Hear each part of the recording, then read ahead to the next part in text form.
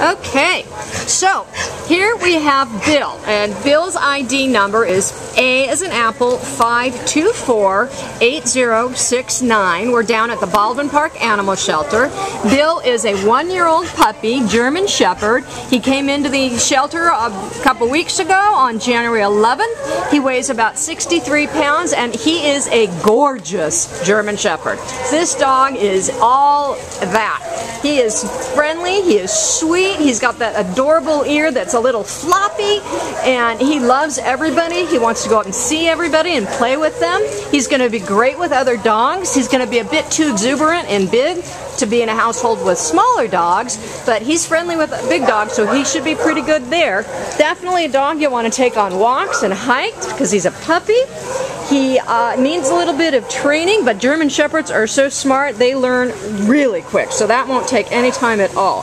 He's been stuck in this kennel for two weeks now, and he's just too young to be stuck in a kennel at the shelter. He's very friendly. What else can you tell us?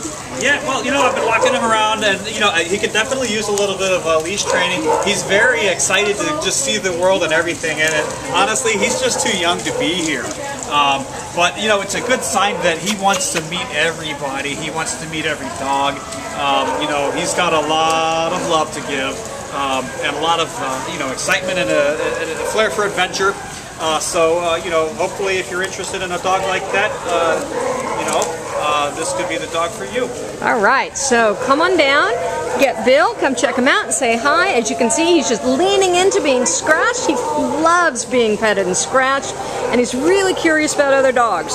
So we're down at the Baldwin Park Animal Shelter. This is Bill. His ID number is A as in Apple, 524 8069 and this boy is just ready to come home and be your family dog. He will be perfect. All right, thank you.